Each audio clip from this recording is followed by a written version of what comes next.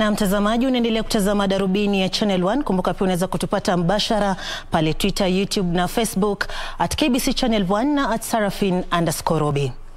Tukiendelea ni kwa rufaa mpya imewasilishwa katika tume ya kuwaajiri wahudumu wa idara ya mahakama kutafuta kuondolewa kwa Jaji Said Chitembwe wa Mahakama Kuu. Francis Wambua anataka Chitembwe aondolewe akidai kwamba hafai kushikilia wadhifa huo kutokana na madai ya kuhusika katika ufisadi.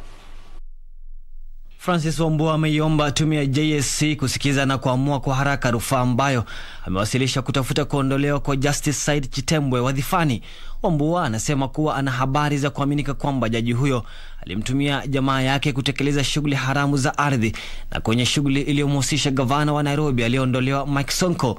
Wambua pia anadai kwamba jaji huyo amekuwa akiwatumia baadhi ya jamaa zake kuficha vitendo vya ufisadi. Wambua pia anadai kwamba ana nakala za mawasiliano ya simu baina ya jaji huyo na mawakili kadhaa waliomtaka atoe uamuzi dhidi ya Mike Sonko kwenye rufaa yake ya kutafuta kuzuia kuondolewa wadhifani. Anamshutumu jaji huyo kwa kudhihirisha upendeleo aliposhughulikia kesi za Sonko.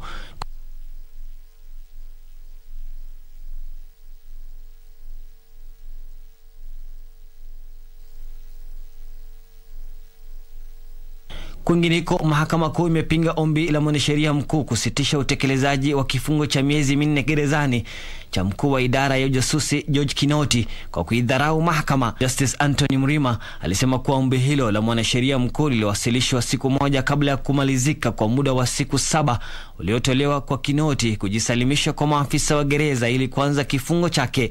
Suala hilo litasikizwa tarehe 25 mwezi huu.